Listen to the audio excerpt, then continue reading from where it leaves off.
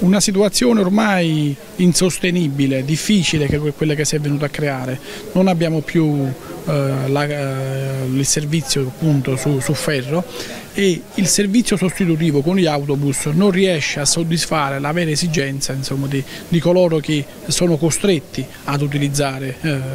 la, il, il servizio sostitutivo sulla tratta eh, Benevento-Napoli, per cui è doveroso che le forze politiche in questo momento, le, i sindaci innanzitutto, eh, si mettano a fianco ai nostri pendolari che quotidianamente stanno vivendo questa grande difficoltà e ad, ad alzando la voce devono chiedere appunto con forza, dobbiamo chiedere di mh, potenziare almeno la linea sostitutiva dell'autobus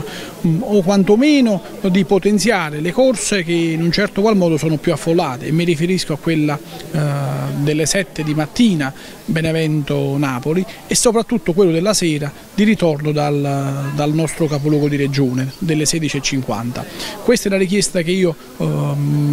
mi pregio di sottoporre all'attenzione de, della, della, dirigenza e, affinché eh, il disagio dei nostri pendolari in questo momento di difficoltà, eh, emergenza Covid da, là, da un lato e il caldo che inizia appunto a caratterizzare la nostra estate stanno mettendo in ginocchio mm, eh, i nostri concittadini. Sindaco, si può pensare a una task force comune, un po' tutti i sindaci, già tre volte è stato fatto, ma questa volta calcare un po' la mano perché è una situazione insostenibile. Sì, chiederò ad Antonio eh, oppure ad Roberto, se a breve faremo il passaggio eh, sulla presidenza della città caudina, eh, a farsi carico di questa iniziativa mh, di tutti i sindaci de della Valle Caudina sulla dirigenza per ottenere questa cosa di cui abbiamo proposto.